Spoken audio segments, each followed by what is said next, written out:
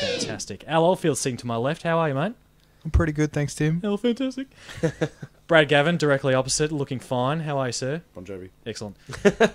Julian Slaney, we're in your pad. It's comfy. It's warm. There's a weird hum from an air conditioner. How are you doing? Uh, doing very well. Welcome to the library, gentlemen. You know, the most relaxing room in the house, of course. It's quite tranquil. Ah. I feel very posh. Yeah. Pip, pip. Um, so here we are. So last week we uh, we managed to get through speed, and and the bombshell was dropped at the end of that episode by one Bradley over here, Yeah. who sought to take us back in time. Again. to, Here we are. That's that's definitely a, uh, going to be one that And you- I think we're going to talk about. and you and you took us back to the year 1986 to watch a uh, one of your old time favorites, Highlander. Do you want to fill us in? Which is a great segue to history with Brad. Brad, Brad, Brad. Okay, 86. Not as interesting as 94 because there was no Offspring Smash or uh, me finishing year 12. Um, some just random stuff. The Challenger blew, blew up. Um, oh, yeah, just random. You know, Jeez. like, yeah, yeah. Way to drop it heavy first up. And uh, keeping on the space theme, the uh, Voyager 2 encountered Uranus. I just had to put that in. did that actually happen in '86, or is it just something? No, you- it did. yeah. It doesn't matter. It doesn't matter when that happens. yeah, yeah, yeah. You always got to put a Uranus joke in there somewhere. Um, oh no, back onto the movie things though. Pixar opened. Oh, okay. Well, I didn't realise Pixar were that old. Yeah, neither did I. Neither did about I. that? Like, look, we're, we, I'm, I'm using Wikipedia here, so you know. Ah. Very reliable. Yeah, yeah, I could have added that two hours ago. yeah, yeah. Good point. Um, what else happened in '86? Uh, Nintendo released Zelda. Uh, Chernobyl disaster. Wow. And just to rub something into Timmy, uh, Montreal Canadiens won the Stanley Cup for the 23rd time. Thank you very much. Thank you very much. Um, Jeez, we The hadn't, we hadn't won any by then. The uh, The Simpsons in '86 as well was Oh, really? uh, yeah when it was first uh, first developed. And uh, notable films from the year were Top Gun, Crocodile Dundee, Platoon, and Aliens. Wow. Great Jeez, movie. not much happened in '86. yeah, huh? not a lot. No, no, nothing, nothing of notable anything really. Can we do Aliens next? That is such a Oh. good movie. Tell you what, in '86, war must have been on people's minds with like making Platoon and Top Gun and like Well, Top out to Gun's probably down as one of the greatest Cold War propaganda films of mm. all time. Yeah. Other than maybe Rocky Four. haven't seen it, couldn't agree or disagree. I'm with him. I'm another I, noob. I need to Yeah. bolt you It's- down. you know what? I don't actually. I, I haven't seen any of the Rockies. And These children, No. Bradley. No, These children. They, they just haven't lived. They just seem the Rockies just seem so unappealing. Though. they do. They do. yeah. Thank just- you. Yeah. Uh, anyway, let's I'm, not I'm get gonna have too to beat you up sidetracked. now. I'm sorry about that. okay. Right. Well, put it this way. You know, just going on to the younger generation, I had this uh, this young girl, a friend of my uh, wife, staying at her house, and she classed Robert De Niro as that guy from Meet the Fockers. Oh, Nice. And I No. went, oh my god. Oh, she's a keeper. Yeah, no. Anyway, moving on. Directed Highlander. Here we are. Highlander, directed by Russell Mulcahy, Melbourne boy. Ah, there we go. No way. Melbourne boy. Wow. Also had a big history in uh, uh, music video. Okay. Directed "Video Killed the Radio Star," Ooh, nice. the first music film clip Yeah, on MTV. MTV. Yep. He also did Highlander 2, Yeah. which We can't blame him for that. I'm not sure we can. They speak just about. backed a truckload of money up. And, yeah. Anyway. Uh, he did one of the Resident Evil films, one of the later ones, and he is currently directing Teen Wolf, the TV series. All right. Just so you know. Okay. So he's been employed. Yeah, He's, he's making a dude's living. working. Good for him. You know, good on him. It's more than I can say for me. No, he's employed. That's great. Good on him. And and this is a pretty good film. Like, I don't know if it's the best film I've seen. I've seen Highlander several times as well, mm-hmm. and I'm a fan. Mm-hmm. Definitely a fan. And it had been a while mm-hmm. since I'd Yeah. seen it. Mm. The opening is stunning. It is. right. I was I actually mentioned that, that in my notes. I've got here the that helicopter shot, which in 1986 there probably actually was a helicopter in that room. Oh yeah. There's so much good stuff going right at the. So first you get the Sean Connery voiceover Yep. explaining, you know, With with an old school like actually written on the screen. yeah, yeah. Mythical Uh, tale. The internet tells me he recorded that in a bathroom and like sent it over the phone or something ridiculous. Wow.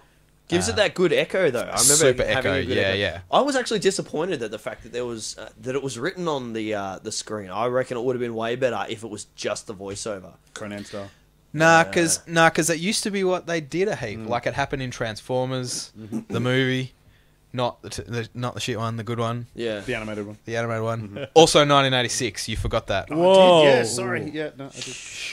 That's No. that's Um, bad. but no, that was. I feel Slap like myself. I can't look. I can't think of more examples off the top of my head now, but I'm sure like that was a, a sort of thing. It was written on the screen, and then someone read it as well. Yeah. Well, but, I think um, with that though, straight away, yeah, it's like we are so in the eighties. Oh, We're, we're at a oh. You know wrestling what? ring. We're at Madison Square Gardens. My first, my, the first thing I wrote down was "80s in your fucking face."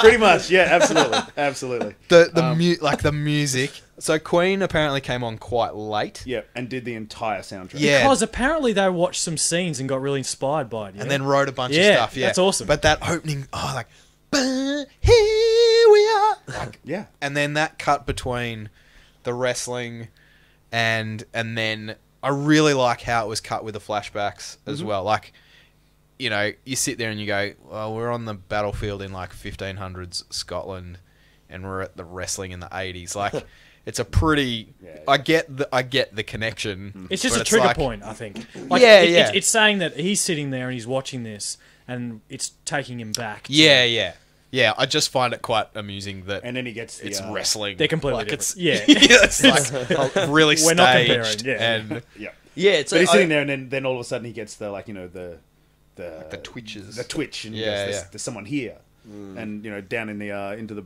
car park he goes. I mean, I, I found it very odd that it was yeah. Like aside from a scene later on in the film where he he's in World War Two, uh, but it's either the very very past when he's with his you know his brothers and mm-hmm. or his cousins and stuff, mm. or it's the present.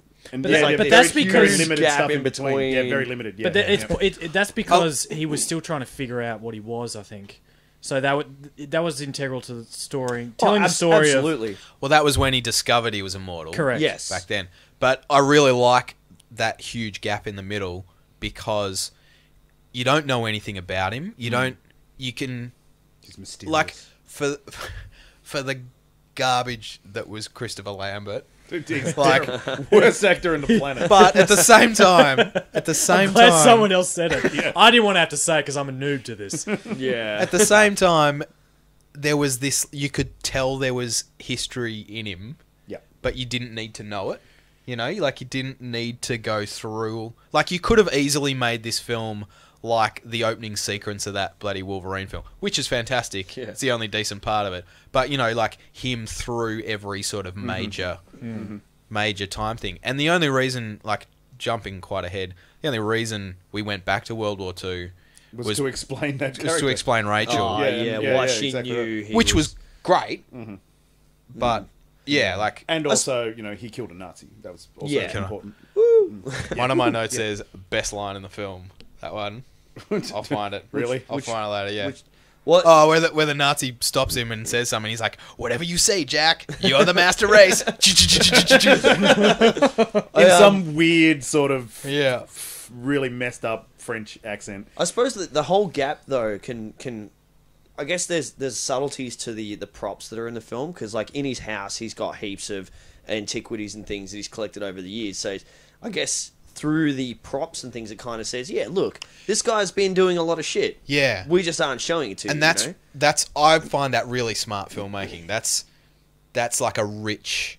It's nice not to be told everything. Yeah, you don't like- have to Yeah, have yeah, it yeah. shoved down your throat. Like that mm-hmm. happens a lot these days. yeah. Everything has to be explained. Yeah, and it's a really nice way to just lay a backstory without cramming mm. it down your throat. It's mm. I really love it. You know, it's, and it's a really strong point of this whole film. So let's let's let's just cut it right back. So there's there's these immortals, right? Yep. And they're they're wandering around, but there's this. Look, I'm going to be asking a lot more questions than anything, yeah, right? Because I've only seen this once. So Same. so you've got these immortals. They can sense each other. And these immortals are just born. Yes. Random So there's no random generated. righto. So there's no There's no bloodline. Okay. are we are we uh, talking Highlander two as canon here, or are we ignoring Highlander 2. Well, I We're, haven't, we're definitely we'll ignore Okay. that. I haven't seen Okay. Highlander. I haven't seen 2. Highlander It doesn't 2. exist to me. We will so- ignore Highlander yeah. 2. Okay. So there's, Please there are continue. these random immortals, right? So there's no real, uh, you know, structure or anything to how they come about. They're just kind of born into this world or whatever. Um, they can sense each other, and there's this. They need to. They, they feel that there can only be one. Not to quote the film a hundred bloody times, but It's uh, it's called The Gathering. yeah. So you're just gonna have to explain this a bit to me. What? I- w- Yeah. The the quickening is the thing that happens after they kill each other, right? Yeah, yeah. The quickening is never really explained. That was a good. I wish I wish we recorded that like like visually. That was great. Yeah, so the quickening is one of those things where it's never really explained. They kind of leave that also up to you. So to this is decide. once they But- kill another immortal. Yeah, This this process happens called the quickening. yeah. But my theory, that's who I want to know is: do they get stronger? So that's what I was going to ask. is Yeah. it like Jet Li's the one The one, yeah, Yeah, that's yeah, what I was yeah. where gonna you ask. kill Yeah. Well, one? see, I've got a whole question towards the end about all that sort of stuff. Yeah. But why? I wonder. I wonder. Like, clearly they don't feel they can coexist. Is it all about? Is it all just power hungry? Like, is this just about power? Well, it seems to be that you know. Spoiler alert here. The whole thing spoilers, by the way. Oh, We're just gonna, absolutely. we That's what spoil do. every film, Yeah, so it should be called the spoiler alert. we should. Um, so you know he's he gets to the end and he's killed everyone and he becomes mortal. See, I, I kind of wish we spoke about this later in the, the podcast instead of just now. But oh, that's one of the questions I was going to ask. Was So maybe that's what Once they it's want. all- Maybe maybe immortality isn't as great as all its. yeah, see, Correct. that, That's and the whole point. and That's- that's the theme that I kind of gathered through the mm. whole thing Yeah. was there's this real, just I got it. Do you want to live forever? But I love so- that, and it's like it's all quiet, but then it goes when will we die?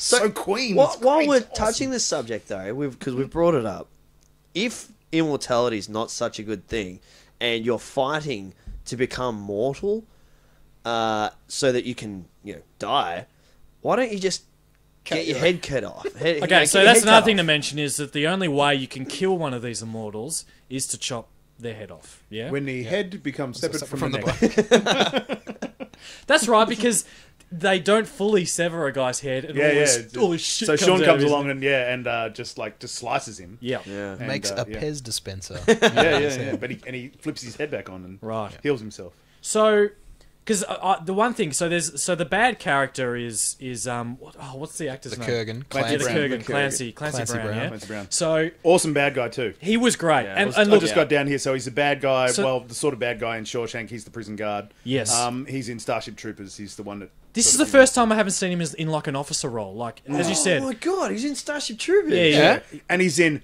buttloads and buttloads of animation. Like he's the enemy cannot everything. push a button if you, disable disable his his hand. Oh my god. That He's uh, Mr. Krabs.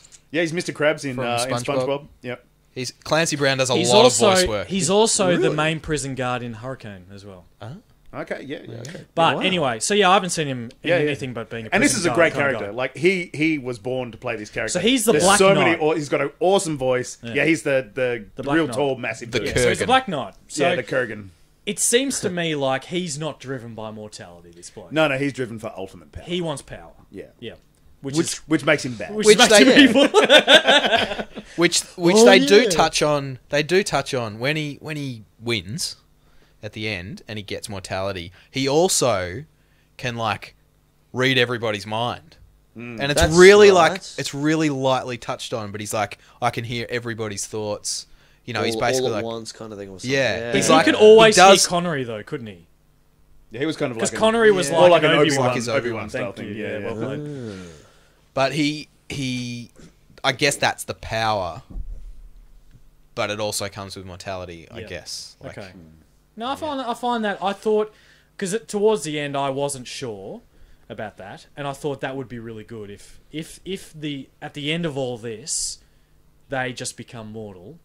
I thought that's good. I like See, that. and I- that's the thing. This is what I like about it. So, for a film that doesn't explain anything, we're asking a lot of questions that we Yeah. wished were explained. Yeah, but that's So- good. No, but see, that's what that's what I Yeah, like no, in a film. yeah, you know, it means I'm- you I'm can. all for it. Yeah. Yeah. Speaking of, well, I mean, I d should we kind of go back towards the start? And, Well, let's go right back to the start Yeah. because there's Yeah. something kind of interesting. So, the first guy he fights is uh, a guy whose uh, real name is Peter Diamond, and he's a stuntman, and he's been in millions of stuff as well. But his major claim to fame is that he was the stuntman or a stuntman in Star Wars, Empire, and Jedi. and um, his his biggest claim to fame that we would all know is he's the sand uh, the sand person that comes and basically knocks out Luke. The Wow. that's him. Awesome. He's that guy. So that's kind of like that's his awesome character. That if you know if you've seen Star Wars a million times, you go, it's a sand person. Character. Imagine that is your, you know, claim to fame. You're that guy. That what a That's awesome. thing. That is It's a great yeah. character. Yeah. Yeah. So he's in. Uh, he's um, he plays like five or six roles in Star Wars, and probably about four in Jedi, and I think about six or seven or something in, in Empire. So He, he's not the stormtrooper that smacks his head into the he is a door. stormtrooper. He's Oh. a, but then again, I think they used everyone that they could Yeah. to be a stormtrooper. So, but he is a stormtrooper as well. So I thought that was kind of interesting. But there was also this bit in that scene where he meets that first guy, and it's like the guy seems to hunt him down Hmm. and then want to run away Yeah. by doing backflips. It was a lot of unnecessary backflipping going Yeah, on. yeah, yeah. It's kind of weird. I mean, yeah, strange. I heard and in- for two guys that have been around forever and been taught how to sword fight. But was he running sword away, fight- though? Worst sword You know fights what? in history. Was he running away though? he seemed to be. Yeah, he was. There were a couple of shots where he's dead set cutting. Okay. Yeah. Hmm. I thought almost all of the sword fights It were terrible. like for guys that Especially working- when Connery's teaching him. Yeah. Like just all this like the montage of him learning to sword fight was hilarious. Yeah, yeah, yeah. So look, this film is it's it. It's How- one of those films where ev- pretty much Connery and um and Clancy Brown are probably the two best actors in the entire film. Um, Connery just because it's just Connery playing Connery. And um, and Clancy is just a really awesome bad guy, He's and like- but he has the he's also like the comic relief in the film as well. So there's lots of funny lines. So he rips the roof off the car and drags the guy out and jumps in the car, and the lady screaming. He just turns around and goes, "Ma!" He's got that drives off. He's kind of just got that. Yeah, yeah, That yeah. laugh all it's great. He was he was like this awesome, uh, awesome bits. Um, So real, really quick one. Sorry, just to uh, interrupt there. So this is one for Al, right? So just after that first sword fight, our hero is driving away oh. in his car, three five six Porsche, I've and got it's the written down. Porsche. Yeah, It's the yeah. same Porsche, is it? It's Yeah, from it's Point the Break. 356. I've got this here. Hollywood's love affair with the Porsche three five six. yeah, just Awesome. obviously So in much films. better condition. It was in. Well, it's in you know it, we were talking about it. It was in Point Break. Uh, Yep. It's Kelly McGillis's car in Top Gun. Yep. It's the three five six convertible is used by Hollywood in so many films. Yeah. They have this love affair with this car, which a- is really weird because other than in Highlander, where he's obviously a really really rich guy, it's usually driven by people that have no money. yeah. This is a car that's worth a fortune. Yeah, yeah. It's like Good point. Like, you how know? did Tyler get a? Yeah, exactly. It would have had to have been left to her. Um, so yeah, that, that definitely had that. It's like, and that's going to be something I reckon we'll start to notice now. It's like, oh, three five six Was convertible. That's it. Um, I think uh, Gary Busey drives one in one of the forty eight hours Oh, or does he? something like that. as well. Really? Yeah. Wow, I'll Yeah. have to check that Um, out. Well, so it's in uh, yeah something like that. Um, but yeah, it's definitely this love affair car. Uh, So yeah. go, going back to so fairly close to start, going back to this guy's power in terms of being immortal, and when we go back to back into the the, the Middle Ages, so back into the fifteenth century, whatever it is, when there so there's that big battle scene, yeah, and we're still getting to know this character, and it seems to me like even mortals can sense that he's immortal. Would that be a correct assessment? Because in the battle scene, no one is wanting to fight him. No, that's because the Kurgan at the start of that battle says, "Leave MacLeod for Yeah. me." Oh, No, really? no, Okay. no, no, Touch him, the- yeah. I clearly, I clearly wasn't They, they were all MacLeods. Well, yeah. he does. He says Leave Connor. Connor. Yeah, You There's. Yeah. one named Connor. yeah, So he says that before the battle. yeah, Yeah, yeah. Because okay. yeah, and then all the guys And they like, go- oh, not you. Oh, I, well, I don't want to I fight must you. have, yeah, okay, I must have missed that. He 'cause said, yeah, for, for leave some- Connor for me, and they went, yeah, no worries, massive, huge dude, blessed him. Yeah. With dressed in black skulls suit, all With a over. skull and a huge sword. You can have him, he's yours. Yeah. Okay, Mr. Mate, Timmy, if you missed that, you might have been off making a sandwich for you. You know, maybe. Dude, I was in a library. There, were no, there was no way to make So- sense. No, he- I I would like to discuss the laws of immortality, right? And and I was kind of going We've along only with it. an hour. I know, I know. We we're just gonna have to trump through this best we can. Okay. Drowning seems fine. You can drown, but like, what is it? Is it a? Is it just that you heal? Like, I think it's a healing thing, yeah. so, but if you drown, Like, there's lots of inconsistencies in this film. Right? Yeah. I, It would Let's not probably, go too look. deep. It would probably be. I would imagine drowning is similar to. Okay, Uh, you if you're in the water and you're drowning, you might lose consciousness, right? Yeah. And you're down there, and you might not function again until you get brought back up. Hmm. no, well, when you when you drown, your lungs fill with water, and then your body what I'm can't saying- get oxygen. But what I'm saying is that if you're immortal and you come back up, your body then heals. Yeah, but he doesn't. He Yeah, goes to the bottom around. and he's like, "Hey, what's going on?" And Oh, he can actually his he can sword. because he, says he can breathe. He goes, actually, yeah, there's he? a bit. I can breathe. Yeah, he and then says, he starts "I can chopping breathe." up seaweed with his sword. Yeah. uh, I was like, he starts "Uh, laughing. Hang on, what's the what laws are we working by here? and I don't think the the Hollywood whole laws. healing thing. I don't think it really uh, works the way like they're instantly healed because when a guy gets his head cut like a Pez dispenser, he's got the He's the got the clips to scar. hold. He's got the scar, but there's a scene. I think it's in the church scene. Yeah, he he's comes- actually he's got, got safety pins. He's got safety pins. That's the Yeah. one. He's got safety pins holding his head on. So, So- I'm kind of like, uh, So maybe they're not human at all. Then maybe there's something else going on there. Mm, Highlander two. I'm gonna have to watch Highlander 2 now. I can't Well, remember. I'm that. not watching. Highlander Well, 2. very briefly, is there some information in Highlander 2 that can help answer our questions? Yeah, but is it is the information something that ruins Highlander? Oh, That's the- look, it doesn't. It's just so they take it in a completely different. Look, the short of it, the short of it, Highlander two, they're all aliens. right. Uh, right, forget I said that. All right, so let's that- go back to Highlander. We'll pretend there is no Highlander 2. But I think if we're gonna happen. if we're gonna be discussing You've already the told me that once. of their immortality, Look, I'm, I think The- that if we're going to get down to the inconsistencies of this film, I think the uh, immortality bit is the. Uh, We're gonna be one here of the all least- night. Yeah, the, it's going to be the least of the thing. I think one of the major inconsistencies, though, is they got Sean Connery, who's a Scotsman, to play a Spaniard uh, Egyptian, and then they got a Frenchman to play a Scotsman. What? so Yeah. he has like the thickest Scottish accent of all of them. Oh. Yeah, I know. And he said, "You're Spanish." He goes, "No, I'm Egyptian." No, you're not. No, you know. Doesn't look What is going Egyptian. on? so the, the so apparently this was Christopher Lambert's second English English film. speaking film after Greystoke, where he said like two words anyway. Oh, yeah, grunted, yeah. didn't he? Yeah. Um. You should have stuck with that. So he so he barely knew English anyway. So he's he's doing a pretty good job. Like I don't speak another language. Good on him. Uh. And apparently Sean Connery just went fuck it. I'm just gonna talk like this, like Yeah. I do. I'm Sean Connery. And they all went, "Yes, Mr. Connery." yeah, he's doing this film as a favor. um, so yeah, so I really thought that was really weird. And then uh, you know when he gets uh, arrested after the first um, sword fight, and then the guy sort of hangs shit on him. You know, that cop is Cop like, is the oh, worst. "Don't Douche. move, pal." but there's like, look, that's another thing. When, let's not get down to the point of like you know great acting or really awesome one-liners in this film either, because seriously, the the dialogue in this film is just atrocious. pretty loose. so atrocious. like it, we're talking like, you know, Sharknado has better dialogue than this film. but there's something about this film that, as terrible as everything is in it, there's something about it that's just awesome. And I think it's the concept of the whole immortality and the sword fighting and this ancient thing, this sort of like half sort of fairy tale sort of thing that keeps it this this really cool sort of concept. Because it's it's definitely not for you know script writing or cinematography or anything like that. But there's something about Highlander that has always been this this great thing. Everyone goes, "Yeah, Highlander. There can be only one," and it's like Ugh. you know, it's that line, and it's like there's something about this film that is spectacular.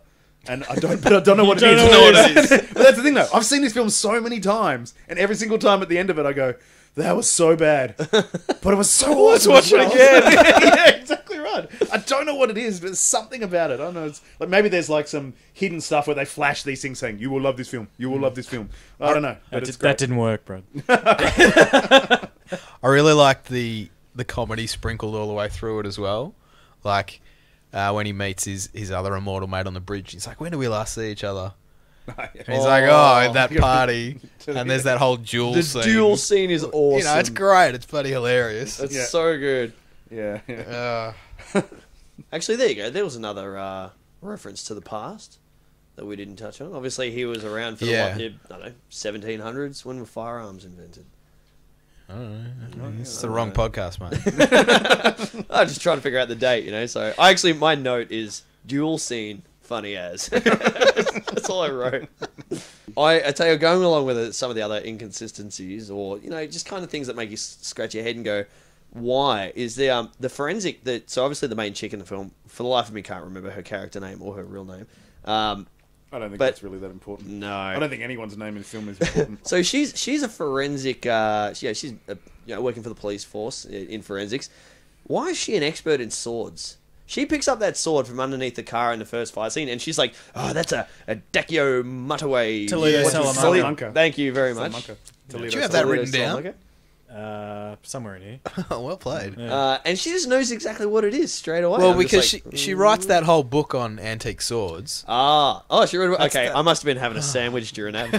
That's that massive book that he's got. And he Sla- gives it to Slaney and I didn't pay much attention. to this. Like, That's oh, right. this is She's so on- 80s. she's on the Yeah. she's on the back, isn't she? That's Yeah, right. yeah, yeah. I might have caught a glimpse of that. Another Queen song. Oh. That that just put that in perspective for But me. also, how does she know what it is if it's the sword that doesn't exist? No, that's his sword. That's Connor's sword. Yeah, the the one that uh, that he gets off uh, Sean Connery's character. Yeah, yeah. Uh, what's his but the sword she picks up is is Stuntman's sword, the Toledo Salamanca. Oh, yeah, 'cause he had his head cut. Yeah. But then she And gets then she then she takes the uh, the shards out of the uh, out of Yeah. the concrete pylon. yeah. yeah. of his sword. So there's always something that when I've watched this, and I think I said at the end of the the last podcast was that I've always like if I ever got the chance, this would be the film that I would remake.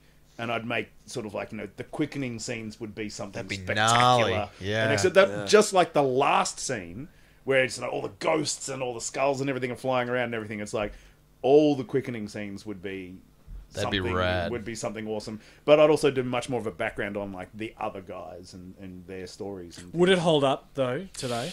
Like, do like in term? Yeah, I mean that's the thing because even if you like modernized it Mm. and put all the effects in and even you know create a better dialogue and that sort of thing, the f- fundamentals of the film in terms of this immortality and you can only behead him and all sorts of stuff would it hold up? I don't know. I don't know. I the reckon- one thing I would do, and the one thing I wouldn't change, would I'd use the entire same soundtrack.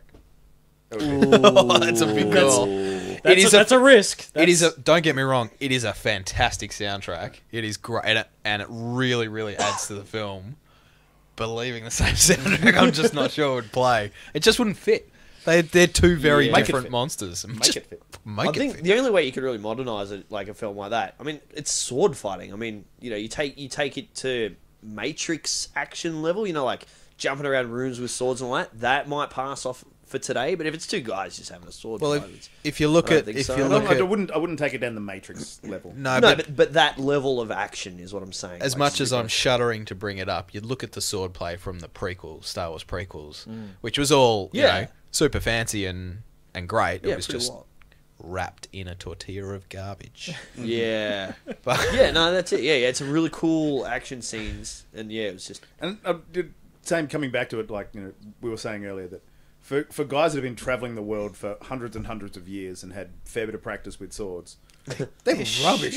yeah. I reckon like some you know maybe like a fourteen year old with a you know iron bar could probably give him a fair run. How heavy are these swords though? I mean, these are these broadswords? I mean, they're Uh, well, the only one that uses like a proper big broadsword is uh, the Kurgan. is- is the Kurgan, Kurgan. yeah. Everyone And- else has got very fancy, you know, lightweight, you know, And almost not dress- not to mention dress that you know. Mr. Kurgan's sword is the ultimate '80s you know snap together Yeah, yeah. tool in a look- briefcase. in a I- briefcase. Yeah, I know nothing about swords. Okay, but but is snap the blade snapped together?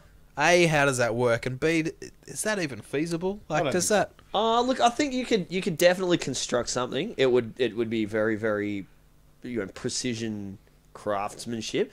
I imagine it snapping together, but I don't imagine releasing it. If you know how you release it, you would have to have some kind of releasing releasing mechanism inside the handle that then chain reaction. I think it's a terrible idea. I think you're just better off having a uh, you know just a friggin' sword, mm. man. Just mm. don't connect the shit together. But that's that's very 80s. Well, he's style. like you know It's gotta he's, connect together. he's made out to be like seven foot tall, and everyone else seems to be able to conceal their swords in trench coats Yeah. and walk around. Why can't he he? can just put it in his pocket. just you know? carried around like Blade, just in the back.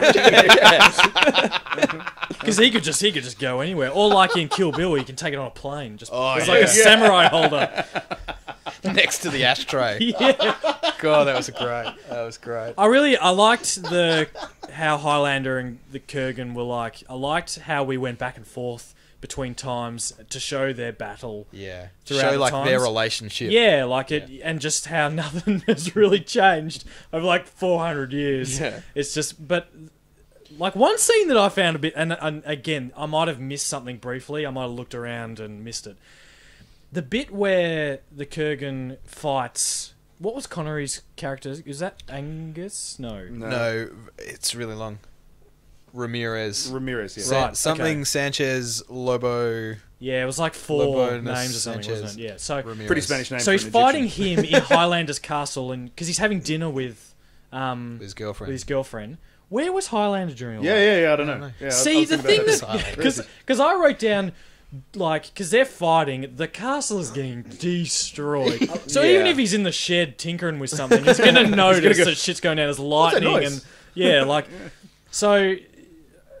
There was a few bits where I'm like, because there's a few bits where I'm like, this whole thing could have been over before it even started. Because there were times when they should have fought, but they just decided not to. Like when they're in the church, I thought the church scene was awesome. No, Yeah. because they they said that right at the start. They Yeah. can't fight on holy ground. Yeah, the- Yes, but Highlander says, I'm going to go and wait outside. And he's like, I'll catch up with you eventually or something. I'll see you again. It's Yeah. like, he's going outside, He's man. gonna be outside. He's too. just- you'll open the door and he's there. Go ahead and cut his head off. Cut his head off and finish it. I've got. I've gotta go, love of God. I gotta go pick my car up. Just cut his head off already. like Did I just scream that in the middle of the library? I don't know. Cut his head off. But I mean, that's the thing. Like, that was a bit where I'm like, do, do we want this to be over or do we want this to continue going? well, that's The director's I'll tell you, I, going, I made a note. We've still got an hour to go. Keep going. Don't a- kill him yet. Stretch. It's a long film, yeah. Like it's a, it's a long. I, I don't know. Maybe it, was felt long. maybe ju- just short of two hours. I okay, think. so It's to- not that long. It's, it's long enough. Like I wrote, the progression of this film is very slow. Like ah. it just seems like it takes forever to get anywhere in this film. Like, But I think that's to do with Lamb. Like it's the acting kind of Lambert. slows it right down. It's- Yeah. Let's Like- let's not justify it as acting. right? like it's just gives it way blank credit. faces for two hours, Yeah, and you're just like, But I mean, like with the church scene, you know, like they could have stepped outside after straight after that church scene and had the epic battle. I like would have that been scene, good though. ending. That church been scene The was church cool. scene's That was great. really because it was super uncomfortable. Yeah. and it was. I don't know. It's just well done. Like it was the first time where I thought that Kurgan was like a really cool character. Like Yeah, he just. I'm just like this dude's Yeah. fucked up. Like He's, what's he? he's that scene made you feel like he's not just like blunt force trauma. Yeah. He's you know he's been around for 400 years as well. He's Yeah. a s- pretty smart guy. Yeah. a little bit insane. Yeah. Well, Well, it's almost like the time has gotten to him, and he's just like whatever. Yeah, Yeah, like he comes who in and he's, he's putting out the candles with his hand, like. but um, Brad loves this film. Oh man. great. I love it. It's awesome. but I yeah, I enjoyed watching, even though there wasn't a whole lot of actual progression in their relationship. I thought the going, the toing and froing from the times was good in terms of establishing. It was their- cut really nicely. Yeah. Yeah. Yeah. because it's like, oh sweet, we're back, and we know we're finding out a bit more about this character here, and then we're going back to the you know the present or whatever, and and seeing what happens, and then going back to figure out another bit of this character, and mm. so I thought that worked pretty well. Getting back to your thing though, where like you know, there, there seems to be so many times where Kurgan could have killed Connor, and he's like, "Uh, not right now." Yeah. Yeah, exactly. I've got to get my cars, pick my, pick up it's my like- car. from it's the like a- service, no, but it's- got to go it's- get my washing or something. It's the it's the Joker Batman relationship. The Joker needs to kill Batman a certain way to appease himself. Hmm. He needs to. He can't just walk up to Batman and shoot him in the face. He's got to do it in a way that is epic and smart and. Mm-hmm. Well, there's also always- the thing of if we're you know if we're going down the Joker Batman path, We're always going to go down there. There's also the thing of like they they don't actually well Joker doesn't actually want to kill Batman. You know, oh, and, they, and they touch on that in, in Dark Knight He as wants it well. to go actually, forever. It's- he's he's- like, he's- what what do I do without you know? Like this is a relationship that we need to have, and there are a lot of incarnations where the Joker's like quite androgynous and like effectively in love with Batman, Mm. But because of his insanity, you know, like Yeah. Mm. yeah. So, it's- maybe there's a bit of that, like that, that bit of insanity over all this time, because immortality's got to play with your mind. Like, is it to the point where he's like, well, once I kill him, I actually what what next? You know, I actually feel like it's like uh, a confidence. Hmm. He's like, I'm going to win, I'm just gonna play it out. so I'm just gonna like stretch I'm, it out, and, I'm going to choose. I'm just when. gonna, I'm just gonna, pro- Yeah. I'm just gonna prod the bear for the next, you know, Yeah. 300 years. And, yeah, it's like I'll keep pulling at the fly's wings And it's and it's you know. only re- when you think about it, it's only really when Highlander turns around and actually goes, "Okay, I'm I got I'm going to kill this guy." Hmm. Because it seems to me like Highlander's just defending himself most of the time. Yeah. like hmm. people are attacking him, and he's just he's killing them. He's literally just waving his hand around. Like, But he never he, like he's not he's not actively seeking out this Kurgan guy. He's not No. he's not actively going after him. He doesn't like he's not invested in this in this there can only be one yeah. scenario.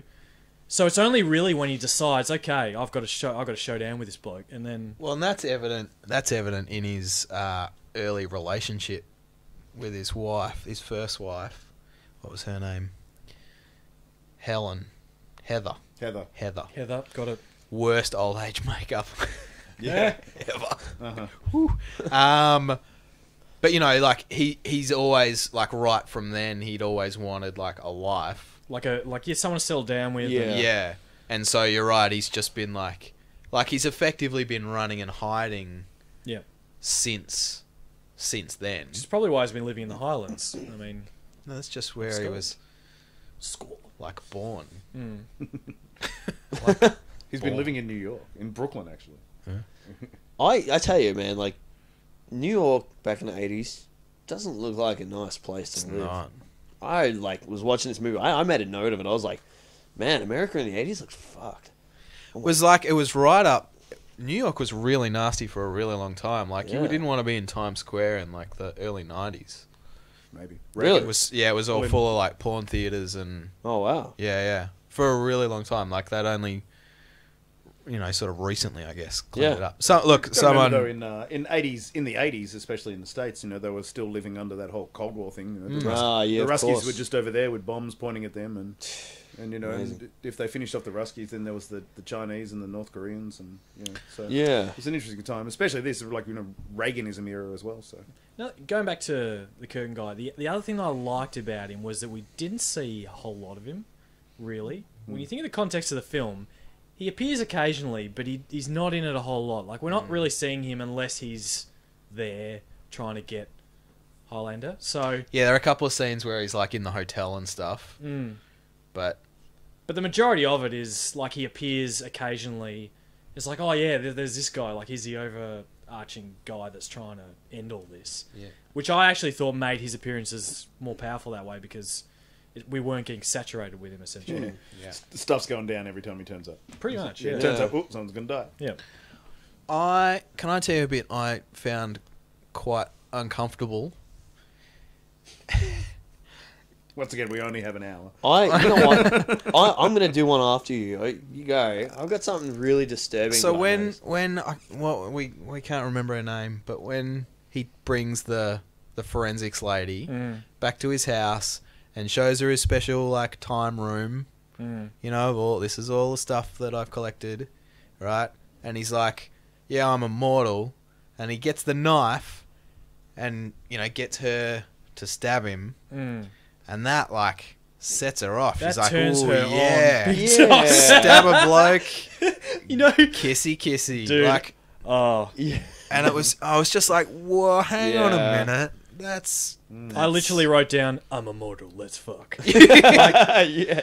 And then it, and then I- it rolls into like a classic '80s Oh, sex oh, scene. yeah, yeah. Like it was, it was. it, I'm like, I'm, hang on, did someone change the channel? Am I watching Top Gun? like it was. It's very very classic '80s. Because I didn't find their relationship was not convincing whatsoever. No. Like No. I was, I was much more on on board with Heather. Yeah. Yeah, yeah. You know, back in the Highlands. Because they, they generally seemed like to be fully happy with each other, whereas Yeah, that's these right. two just seemed really weird around each other, like just awkward, just awkward. And he had he had Obi Wan in his ear too, going, "Leave her alone, don't touch her." Yes. Um, you know, you were talking about the car scene with the Mm-hmm. Kurgan before. Uh-huh. like you know, I was watching that. I'm like, it's a really intense scene. Like, like it's like it was, yeah, like it starts quite funny like that, but that whole sequence where he's driving against traffic, and he's like, you know, it's like played quite funny. You know, he's like covering his eyes and ooh, and No, that's a know. later scene. That's where he's got the the forensics girl in the car. Yeah. Oh, it is her, too. He's driving her to the to the sign. Where he That's parks, right. That's Which right. she somehow manages to get free of after it falls over. But it's su- it's super intense. Like it's She screams pretty hard. Yeah, Yeah, she's a good like- screamer. I think Yeah. that would have been one of the things. Like, scream for me. Mm, yeah, you got the job. Yeah, good screamer. Yeah. Absolutely, absolutely.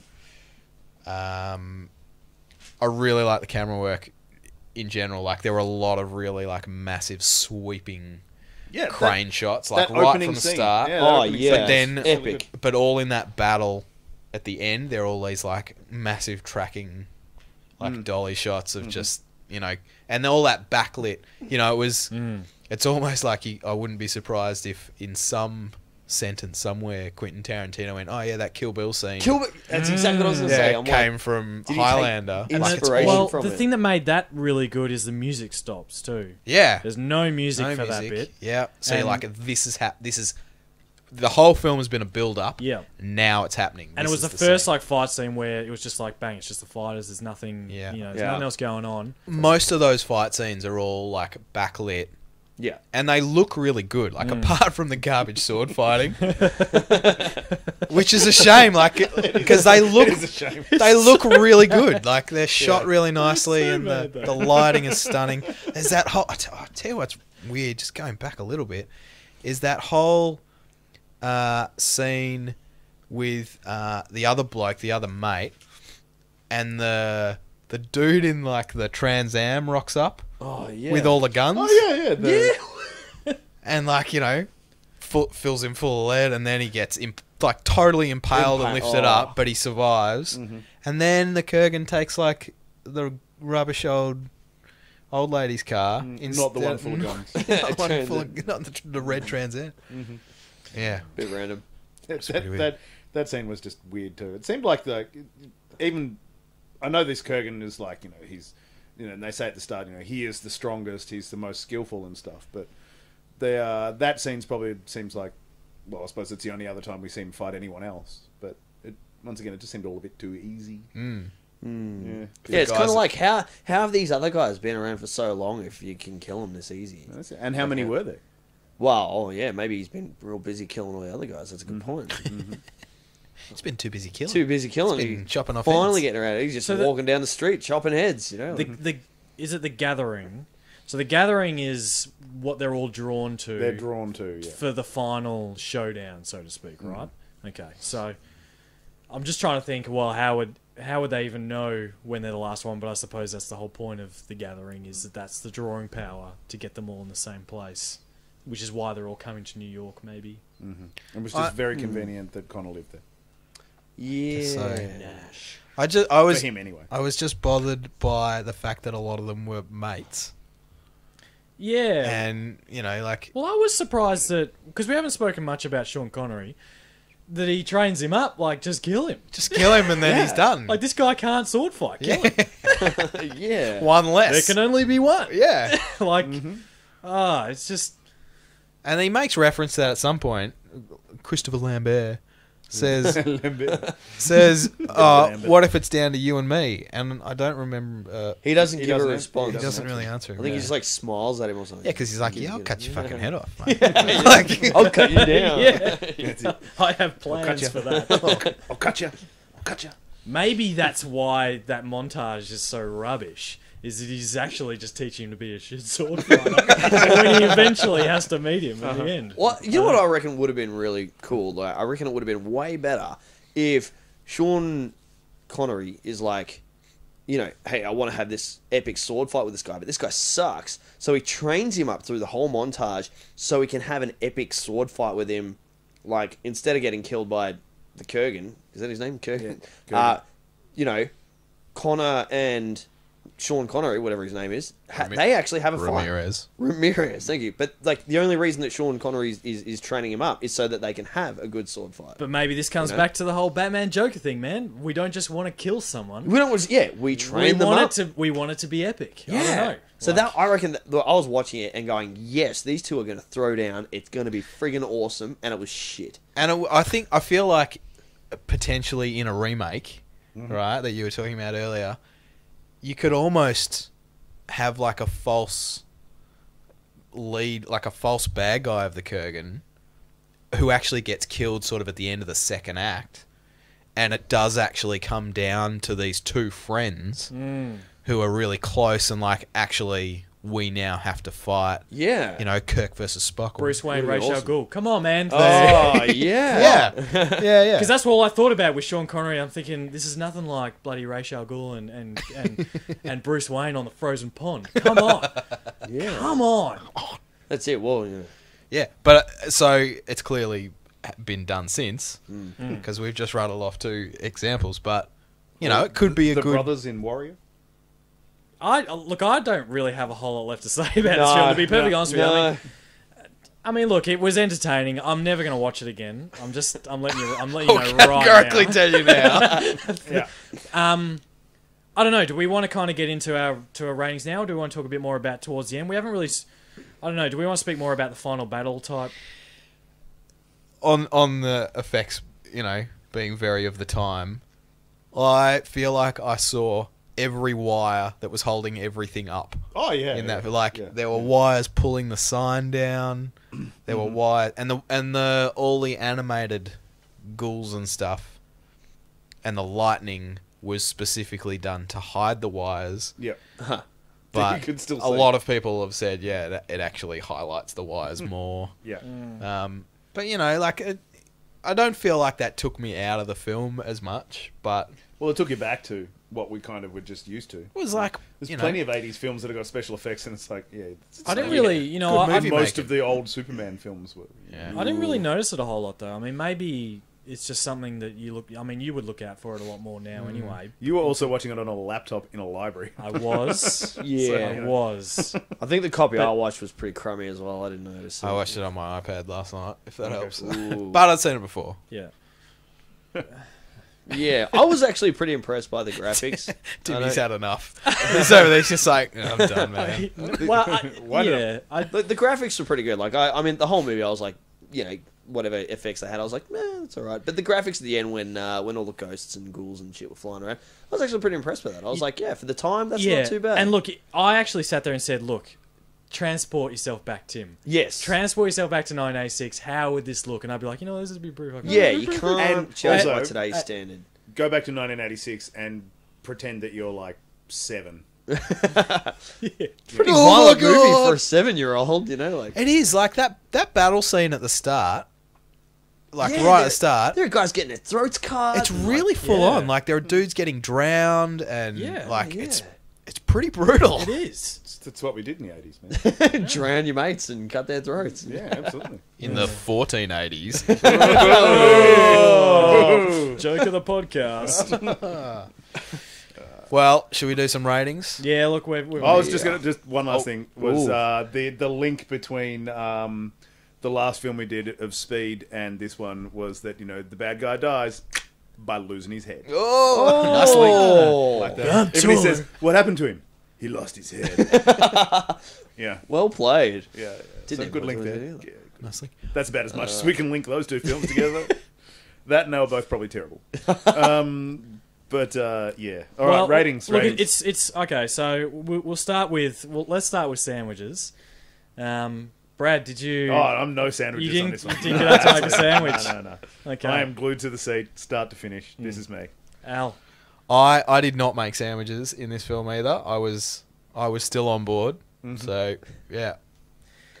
I mean, look, I didn't have capacity to make a sandwich where I was. However, look, I look, There was I tea mean- and coffee available. look, I, I considered pausing it a few times, and thinking, oh, look, I'll pause it here and I'll come back to it later. And I thought, you know what, Tim, you, you might not come back to this.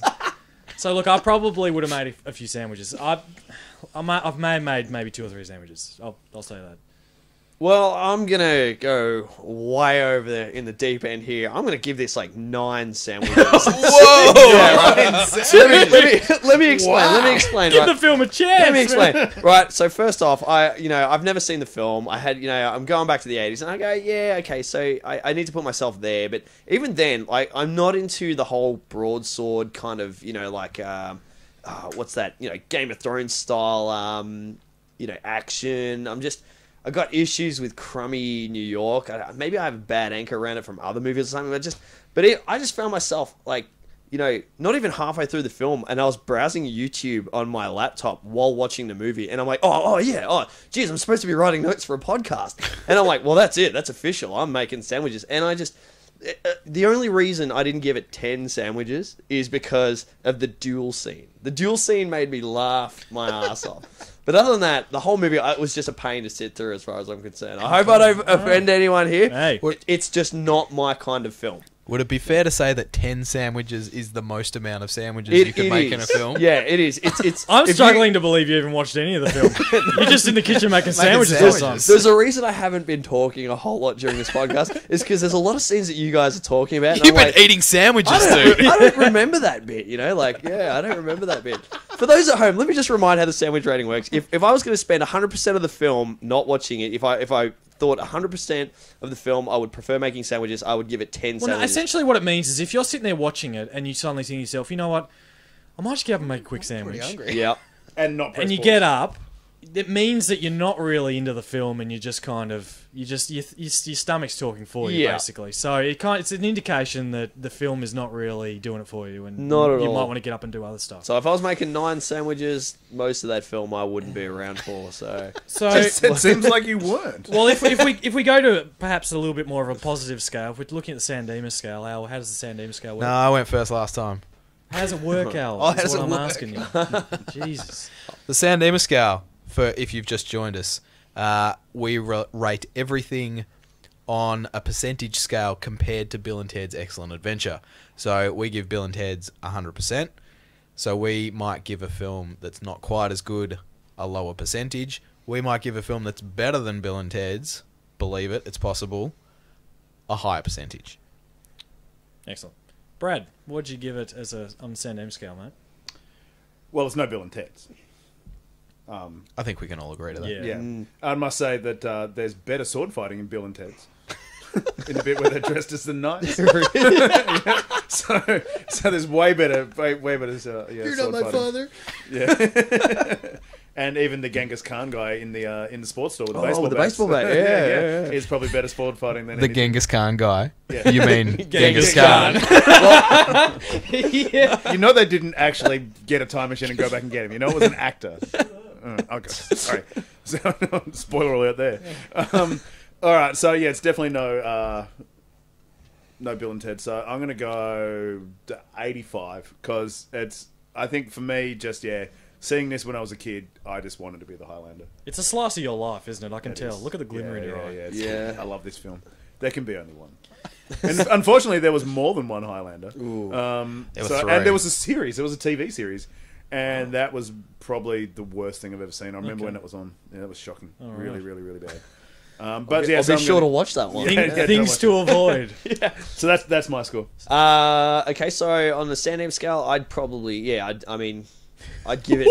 I'd be surprised if you you I'm can't thinking, give it I'm over thinking, ten. No, I'm, surely. I'm thinking ten percent. I gave it nine sandwiches. I'm, I'm going to give it ten percent of Bill and Ted's, Ju- purely because of Because you're for full two of reasons. sandwiches. Two, because two reasons: the duel scene and the fact that we get to do a podcast about it. That's the only reason I watched it.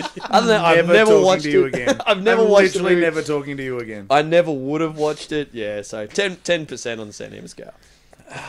You know, I look. I may never have watched it either. I don't know. Like uh, when you when you mentioned it in the last podcast, I'm like, well, all right, I'll give it a go. And I, I thought, oh yeah, I'd forgotten about Highlander. I forgot it totally existed.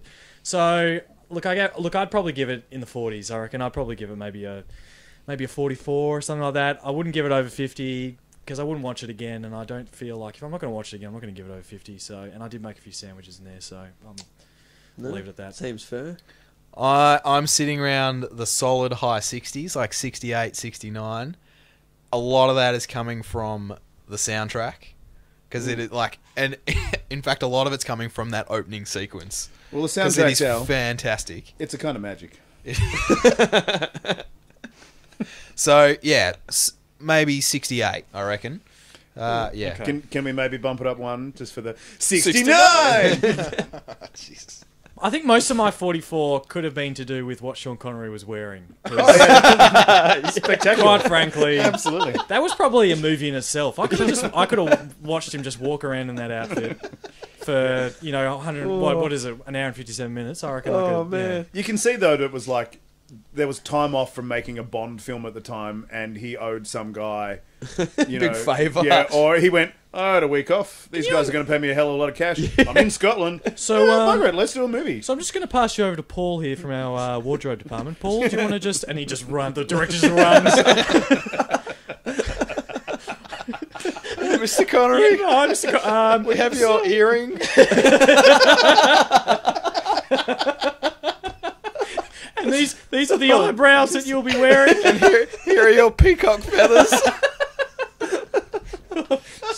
Jesus. Oh, oh shit. You know what? It's almost getting up to 50% right now. the memories of Connery are just making it. Oh, the most unbelievable Egyptian Spaniard in the world. yeah. great.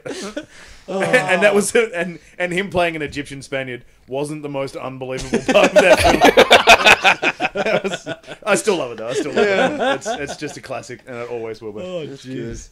Uh, I want to dip back into my uh, my favourite segment of the podcast. What I like to call it podcasting a wider net. I love how satisfied you are with that title. So satisfied. you want me to say it again?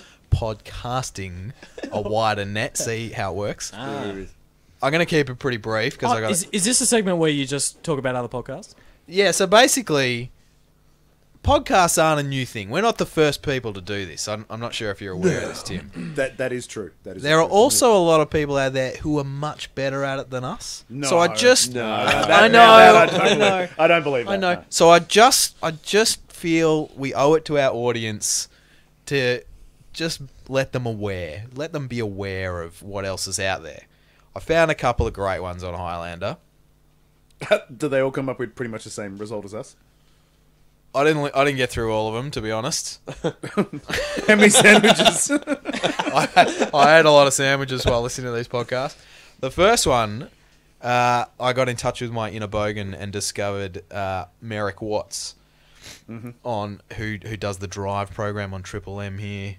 You know, Does, does he? yeah, I've, I've, yeah. Don't get me started. Yeah, no. Anyway, Merrick does a few movie reviews, and they're all of old films, Highlander, Ghostbusters. Mm. Anyway, they're pretty funny. They're they're really short. He's pretty good, yeah. Yeah, get onto it. I, mm. I would recommend that podcast. I found another one called Chicks with Flicks, and it's and it's five women. None of them had seen Highlander before. Awesome! awesome! I am listening to that. Boy, Yeah. were they in for a surprise. My understanding of the early part of the show was they were looking forward to seeing Sean Connery. Okay. That was and and having Boy, were they in for a surprise. and having spoken to my mum today, you know, she said, "Oh, Sean Connery's in that, right? It's clearly a thing." yeah. Yeah. Now, this little gem I found. This podcast is called Highlander Rewatched. Okay. Okay, this entire podcast is the. I think there are four blokes, and the whole podcast is on Highlander. Right, the series, the movies. The first Highlander movie is broken into three episodes, so that's three Whoa. hours Wow. of Whoa. Highlander discussion. Wow. Okey doke. So get it. We were into you. struggling with one hour, and there's four of us. It's called Highlander Rewatched. Wow. Okay. That's some dedication. Oh, and it's also episode 24. So there are 23 other episodes Highlander. of Highlander talk oh before they got to this movie. Wow. Whoa. Jeez. Good on him. And How? I don't, I don't know. I didn't listen to the whole Okay, show. okay, right, okay. Uh, so well, well done, people that did the all them. Was That- it the Highlander rewatch? That's dedication right there. that is podcasting a wider net for this week. Good Fantastic. work, And I believe that brings us to the end That's a wrap. of another fantastic week in the library uh, of the San Dimas School of Film. We'd like to thank you for joining us. Oh, what's what do we? What do Yeah, do before we go, Oh we've my to select goodness. the film. That means it's We're- Tim's turn. We're back to We're Timmy. looking at Timmy. We've done a full circle. I'm a bit I'm, worried. I'm excited for No, this. I'm worried. really excited for this. Well, He's Hello. angry after after that one. So I don't know. No, I'm, I'm taking a bit of a different direction actually. That's what I'm because worried about. It seems like we've we've had a very action kind of focused start to this. Late 80s, early 90s. Don't give me that look, Brad. uh, it's a 2009 film. Okay, and you'll I'll probably give it away straight away for you, but Kevin Spacey, Oh, Sam nice. Rockwell. Nice. We're going to be watching Moon next. Ye- Oh, Yeah. do you know what? Oh, I am so. This is one of my favorite films. Oh. Moon, and I. This was on my list. There we To go. pick. Awesome. It was really hard to watch. So, It's a good movie. so I'd just like to say that just because of your wrap up of Highlander, I'm going to purposely try and hate this film. dude, I, I wasn't I wasn't up making sandwiches the whole time, so you can go easy on me. Oh, Righteous. I- Wait, I'm wait so until excited. Slaney chooses a film. um, Great. well better, that better not be good. that officially brings us to the end of the San Dimas School of Film for this week. Thanks for joining us, and our email, if you want to talk to us, is Sandimasfilm at gmail.com. and you can stalk us on Facebook at San Dimas School of Film. Come and tell us some stuff, movies you might want to see. Yeah, suggest some movies. Why not? and we'll you know we might ignore you or we might just be really excited that you got in touch with us Because not many people do. yeah Let's face it. it's because mum's getting sick of having to watch these random films